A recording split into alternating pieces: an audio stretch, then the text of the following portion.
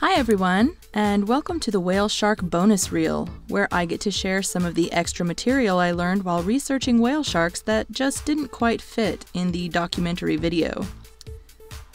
For instance, you may be surprised to learn that whale sharks were not discovered and officially described until 1828. How did scientists miss seeing the biggest fish in the ocean? Well, whale sharks are pelagic, which means they live in the open ocean. And because they are fish, not air breathing animals like whales or sea turtles, they do not have to come to the surface to breathe, making it much less likely for them to be spotted by sailors.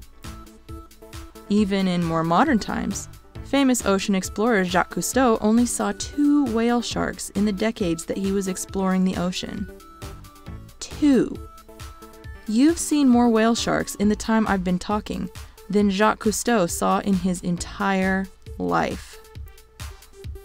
That is made possible because sometime in the 1990s, someone told the scientists that whale sharks like to gather in coastal areas to feed, often in groups of dozens or even hundreds of sharks, and they return to the same area year after year. Apparently, Fishermen had known about it for generations, but no one thought to tell the scientists who came out year after year to study sharks. Once scientists became aware of these huge predictable gatherings of whale sharks, it became much easier to study them. They were able to tag and photograph thousands of sharks, tracking them as they traveled around the ocean. This is how we learned that whale sharks sometimes dive deep down and regularly swim thousands of miles, often back and forth across oceans to different feeding grounds. As it turns out, the pattern of spots that a whale shark has on its back is unique. Every whale shark is different, and this allows scientists to identify individual whale sharks when they reappear in a different place or a different time. Unfortunately, trying to match up spot patterns is difficult and time consuming.